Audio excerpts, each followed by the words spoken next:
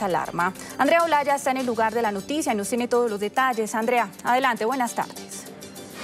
Ana María y televidentes, muy buenas tardes. Nos encontramos acá en el sitio donde están ocurriendo los últimos hechos. Exactamente los saludamos desde la carrera 85 con calle 86, donde más de 400 personas fueron evacuadas porque al parecer un hombre dejó un elemento extraño al interior de un baño de estos edificios. Las autoridades prendieron las alarmas y llegaron a cordonar el sitio y a evacuar a todas las personas que se encuentran en este edificio. Estos edificios son empresariales. Acá funciona la Fiscalía General, la Armada Nacional y varios call centers. Al llegar al lugar, efectivamente encontraron este bolso abandonado. Con todo el dispositivo de seguridad hicieron el ingreso y al interior de este bolso se encontraba un arma traumática y otros elementos donde según las autoridades simulaba que iba a ser construido un elemento explosivo. Encontraron cables, tarros metálicos y otros elementos. Las autoridades prendieron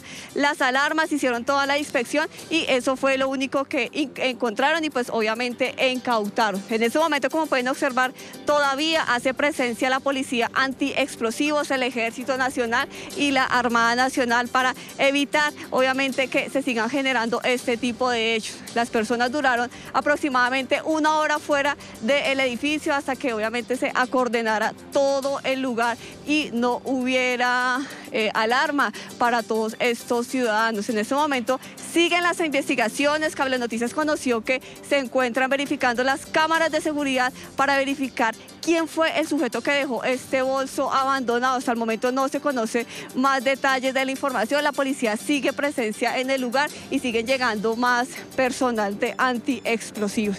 Esta es la información, Ana María, que tenemos hasta esta hora. Nosotros seguiremos acá al tanto de todo lo que pase. Por otro lado, les quiero contar que cuando llegamos al lugar alcanzamos a hablar con algunos de los jóvenes que trabajaban al interior de este edificio y esto fue lo que nos comentaron. Los sacaron a todos de los edificios.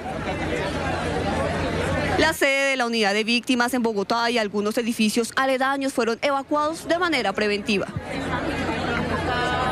Un paquete abandonado en un baño levantó sospechas. En el interior había un arma traumática y otros elementos. Al lugar llegaron las autoridades para tomar el control. Ante la duda se activaron los protocolos y fueron evacuadas las personas de este lugar. Nos habían indicado que eh, estaba una bomba, no nos dijeron dónde, pero que evacuáramos todos por el mismo dato. Acá empezó a llegar lo que es eh, antiexplosivos, eh, los policías empezaron a salir, y pues pensábamos que era como una falsa alarma, pero pues sí se vio como un poco, se vio como un poco ya, ya más fuera de lo normal.